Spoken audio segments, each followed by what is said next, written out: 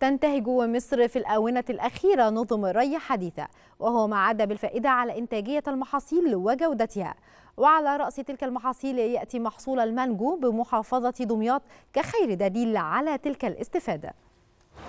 المانجو أو ما يطلق عليها ملكة الفواكه. شهد محصولها هذا العام طفرة كبيرة في محافظة دمياط. طفرة جاءت نتيجة لاستخدام الري بالتنقيط وهو ما تسبب في زيادة إنتاجية محصول المانجو بأراضي المحافظة خلال الآونة الأخيرة. إحنا في زراعة المانجو بنتبع سبل الزراعة الحديثة الري بالتنقيط توصيات مديرية الزراعة في التسميد ومكافحة الآفات. إنتاج إن شاء الله السنة دي وفير.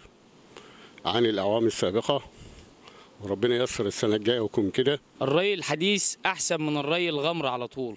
يعني بتحكم في السماد في الري في مواعيد الري في المية في كل حاجة أنا بحطها هنا براحتي. يعني كنت الأول بسقي بحط سماد كتير بحط مية كتير. دلوقتي أنا متحكم في كل حاجة. في الري الحديث أحسن من من الري الغمر على طول. وبالتزامن شهد مركز كفر البطيخ بدمياط زراعة أكثر من 4500 فدان بمحصول المانجو الذي يحتوي على الألياف الغذائية وغني بمضادات الأكسدة والفيتامينات. منزرع عندنا هنا في مركز كفر البطيخ في جميع النواحي 4500 فدان الإنتاجية فيهم بلا استثناء إنتاجية عالية وده كان برضه بفضل اتباع نظم الري الحديث وتعليمات معالي الوزير وان إحنا نزلنا في بداية الموسم وقبل الزراعات وكنا بنرشد وبنوعي بتنفيذ الري الحديث. حتى تم تنفيذ مساحة 6001 فدان بعدد مزارعين 3556 مزارع.